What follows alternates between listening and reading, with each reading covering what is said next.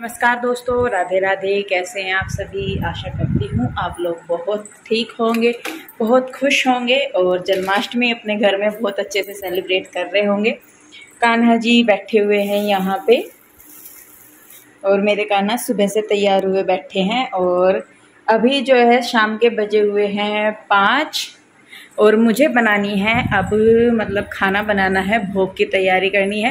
वैसे तो काफ़ी टाइम है, लेकिन उसके बीच में भी बहुत सारी चीज़ें हैं जो करनी है, क्योंकि सजावट भी करनी है, क्योंकि मैंने अभी तक तो कुछ नहीं किया। सुबह के टाइम किया था, फिर उधर चले गए थे, क्योंकि मम्मी आ रही थी, सास आई हुई हैं, और रुचि और अनुज भैया गए थे गाँव में। तो इस वजह से फिर उधर टाइम लग गया।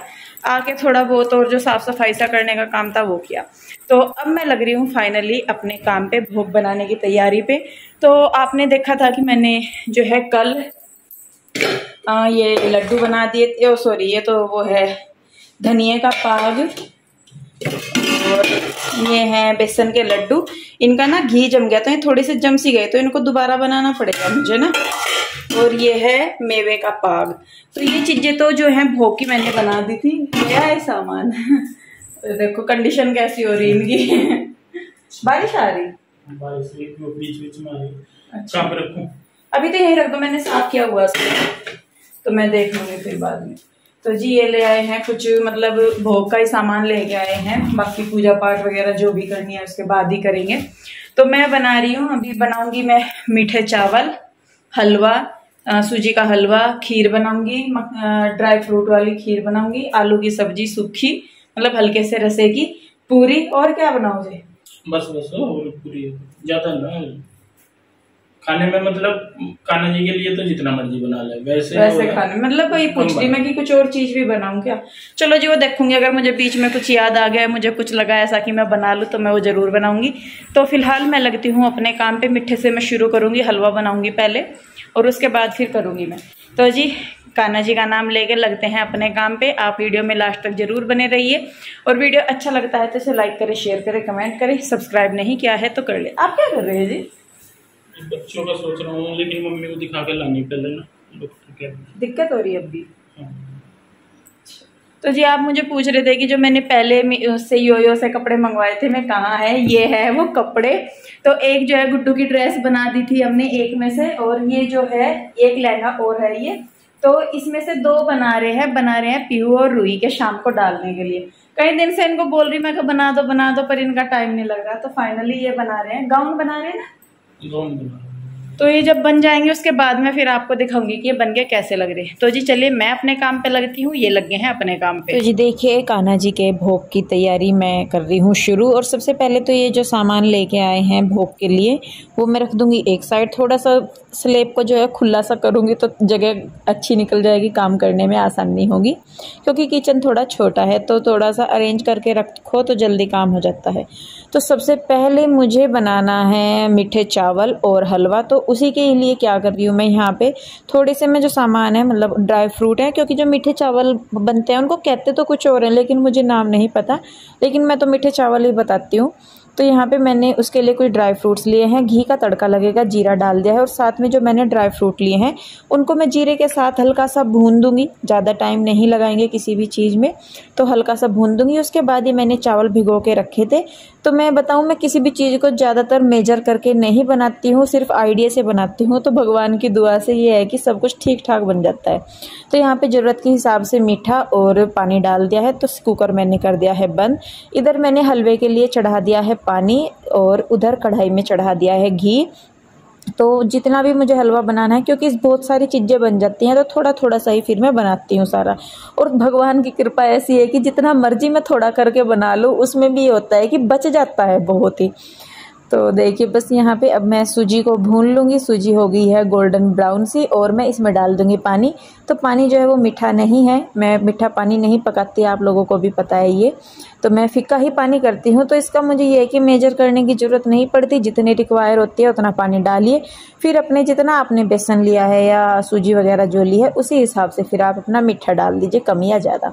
तो यहाँ पे मैंने चीनी भी डाल दी है, सारे ड्राई फ्रूट कूट के रख देते, कुछ मैंने हलवे के लिए वो मैंने डाल दी है थोड़ा सा नारियल का बुरादा और जो भी आपके पास ड्राई फ्रूट है वो डाल दीजिए।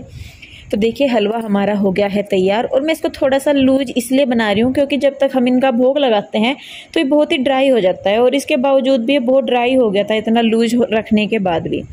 तो जी देखिए, अब जो है मुझे बनानी है मखाने वाली खीर तो उसके लिए मैंने यहाँ पे एक एक सवा किलो के लगभग, एक किलो के लगभग मैंने दूध लिया है, क्योंकि जैसा मैंने बताया, ज़्यादा मैं नहीं बनाऊँगी। तो दूध उबल जाएगा जब तक। तो इधर देखिए, हमारे जो मीठे चावल हैं, वो भी बन के बिल्कुल रेडी हो गए हैं, उनको मैं निकाल दूँगी। और मैंने एक कुकर और एक कढ़ाई में सारी डिशेज बना दी हैं, मैंने बनाया और उसको निकाल के साफ़ करके वापस उसी को ही रखा। इसमें क्या होता है कि भाई टाइम बच जाता है बहुत सारा, नहीं तो जितने भी बर्तन हम यूज़ करेंगे सिंक में ढेर लगता रहेगा और फिर उनको बाद में हैंडल करना मुश्किल हो जाता है, काम बढ़ जाता है उनको साफ़ करने का। तो इसीलिए बस मैंने एक ही कढ़ाई और एक ही कुकर का इस्तेमाल करके सारी चीज़ें बना दी हैं। तो यहाँ पे मैंने मखाने की खीर बना रही हूँ, इधर में ड्राई फ्रूट वाली। तो उसके लिए मैंने मखाने और बाकी के जो ड्राई फ्रूट है, वो ड्राई ही मतलब बिना घी के ही भुनने हैं, हल्के हल्के से ज़्यादा नहीं। और इनको मैं हल्का सा दर्द लूँगी, यानी कि दरदरा सा कर लूँगी मिक्सर में ही डाल के। तो ये देखिए, यहाँ पे हल्का सा ही मैंने इनको आँच, वो मतलब घुमाया है, ज़्यादा नहीं। तो यहाँ पे ये हो गए हैं और इनको मैं डाल दूँगी। तो यहाँ पे ड्राई फ्रूट के साथ साथ मैंने थोड़ा सा जो है मिल्क पाउडर लिया है। दो चम्मच के लगभग ये शायद होगा। तो चमचे में मैंने थोड़ा सा दूध लेके उसको घोल के अच्छी तरह तब उसमें डाला है। डायरेक्ट डालते हैं अगर दूध के अंदर खोलते, दूध के अंदर डाल देते हैं तो उससे क्या होता है कि गांठ पड़ जाती है मिल्क पाउडर की। तो जी खीर बनने लगी है उधर मखानों की। तो यहाँ पे अभी मैं बना रही हूँ आटे का प्रसाद, यानी कि कसार। तो थोड़ा सा घी लिया है, आटा ले लिया है मैंने। और इसको मैं भून लूँगी हल्की हल्की सी आँच मतलब मीडियम क्योंकि मेरी जो कढ़ाई है, ये हैवी बॉटम की है, भारी कढ़ाई है तो मैं अगर तेज़ आँच पे भी कर लेती हूँ तो भी कोई मुझे खास प्रॉब्लम नहीं होती। लेकिन फिर भी मैं इसको मीडियम टू हाई रखती हूँ, दोनों के बीच का। तो यहाँ पे देखिए, हमारा जो आटा है, वो अच्छे से भुन गया है, बहुत ही अच्छी सी खुशबू इससे आने लगती है। और जब ये थोड़ा सा ठंडा हो जाएगा, तब हम इसमें डाल देंगे मीठा। और मीठे में आप इसमें शक्कर, गुड़ी वगैरह भी कुछ डाल सकते हैं, आपकी इच्छा है, मैंने यहाँ पे जो बुरा होता है, यानी कि पाउडर शुगर वो डाल ली है और कुछ ड्राई फ्रूट डाल दिया है, थोड़ा सा नारियल का बुरादा डाल दिया है। तो हमारा ये वाला प्रसाद भी हो गया है रेडी और अब इसको भी मैं निकाल दूँगी इसमें से, क्योंकि मुझे अभी और भी कुछ बनाना है। तो देखिए यहाँ पे एक ही कढ़ाई का इस्तेमाल करके मैंने दो तीन चीज़ें तो बना ली हैं। और इधर हमारी जो खीर है वो भी पक गई है तो उसमें मैंने डाल दी है चीनी टेस्ट के अकॉर्डिंग।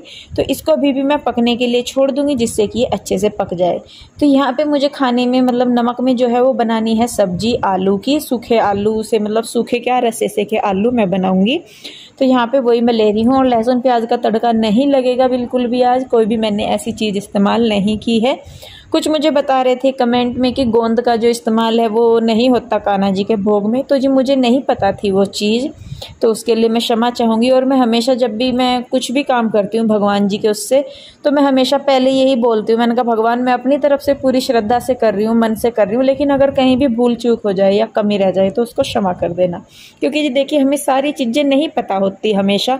कुछ पता होने से पता होती है और कुछ होती है। तो खैर देखिए, खीर बन गई है हमारी। अब जो है मुझे लगाना है आलू की सब्ज़ी में तड़का। तो यहाँ पे मैंने नमक, मिर्च, धनिया पाउडर, जीरा पाउडर, गरम मसाला और देगी लाल मिर्च, इन सबको ले लिया है। और इनको मैं घोल दूँगी। तो इसका जो मतलब मैंने मतलब मसाले जो ऐड किया है ना, गरम मसाला वगैरह सारी चीज़ तो इनसे जो सब्ज़ी में टेस्ट आएगा वो ऐसा आएगा, जैसे खड़े मसालों का तड़का लगता है ना, वैसा। तो यहाँ पे मैंने जीरा, धनिया और छौंक की मिर्च डाल दिया। उसके बाद जो मसालों का घोल तैयार किया था, वो डाल दिया।